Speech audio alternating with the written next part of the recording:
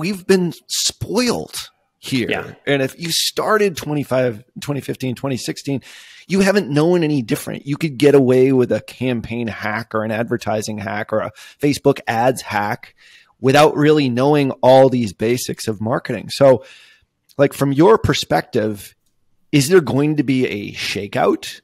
Is there because i know there's plenty of like in our space there's lots of ad agencies which started 2017 and they're just using these tactics and strategies and tips and tricks. But now they have to go back to Mad Men style advertising understanding. What's your sense for the space the digital space in general the space around that digital space which is like the agency space? What, what do you think is going to happen based upon this? I think it's going to be an absolute bloodbath I mean, I think you're going to have so many of these agencies and consultants that just they they had they had their trick, right? It's like like oh, I can juggle, and and in a world where people want jugglers, great, and now everybody's like screw juggling, juggling sucks, like it doesn't work anymore. Um, you're out of business, and and it's because they weren't actually marketers, right? They weren't actually marketers.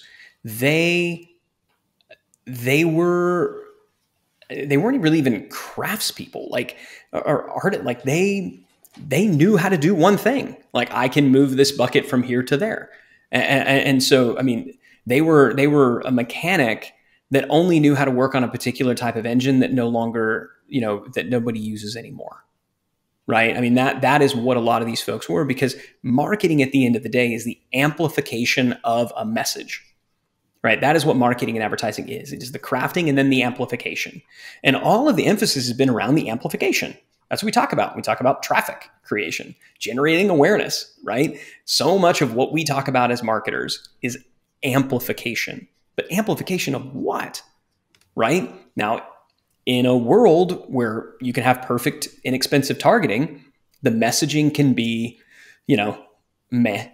It can be okay. But if you show up at the right person, right time, you're going to win more times than you're going to lose, right?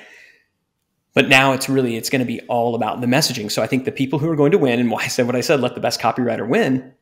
It's going to be the folks who see themselves as uh, copywriters first, as as messengers first, um, communicators first, and then the amplification. Well, we use radio, TV, the internet, a megaphone, a dude spinning a sign in a gorilla suit on the you know, street corner, like that's all just amplification.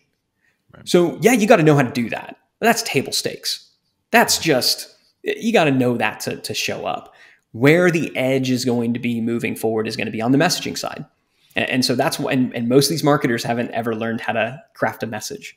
They haven't ever learned how to dig in um, and, and figure out like, what does this person really want? They only know like, well, if somebody's looking for this, then I'll show it to them.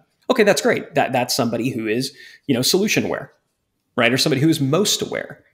But if we think about markets as concentric circles, selling to people who already know, like, and trust you and desperately want the thing that you have, man, that's easy. You don't need a marketer to do that. Just show up and say, hey, I'm here. You're welcome. Right? Going out to that next ring, those folks who are, you know, who are who are solution aware, who are in market, they're they're actively looking for stuff. Um, you're crazy if you don't target those folks. I mean, you're crazy if you don't aren't bidding on certain keywords and things like that in you know in Google. Like, yeah, you need to do it. I'm not saying that stuff isn't good and that it doesn't work. Y- you have to do it. But that's not where the big gains are going to come from anymore. The big gains are going out to the problem aware market and even the generally unaware market. Um, that's where it's gonna. That's where it's gonna happen. That's where you got to learn to speak to people at the, their unspoken need, their unspoken desire things that they aren't even talking. So you mentioned Roy, like the ad that he ran, it was for Justice Jewelers. Um, and so if you want to Google Rolex ad Justice Jewelers, you can probably find it. There may even be a, a YouTube link. Maybe we can drop it in the show notes.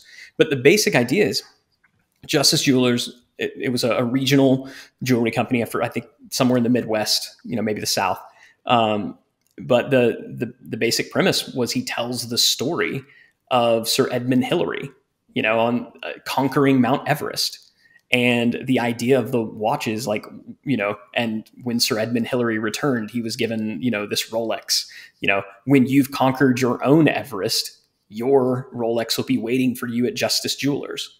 Hmm. Right? He wasn't selling a watch, right? The underlying need wasn't somebody, needing to know what time it was right? And that's the kind of stuff that a lot of marketers who just get the oh no we just need to, to focus on the features and the benefits and make sure that that we're ranking really well for you know buy rolex you know and make sure that we're we're there for you know in, in front of them for all those keywords. Uh-uh. They understood that this is for somebody who has conquered a mountain and they are looking for a way to celebrate it. And they don't know how to celebrate it. And you just gave them a tool mechanism for doing that um, you're selling them that identity reinforcement right?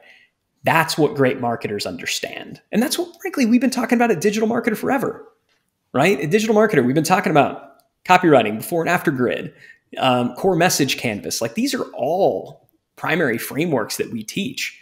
We don't get into the with with a lot of our stuff, our workshops, some of our certs, we'll, we'll get into the mechanics because you got to know how to do it. It's just not where the edge is anymore.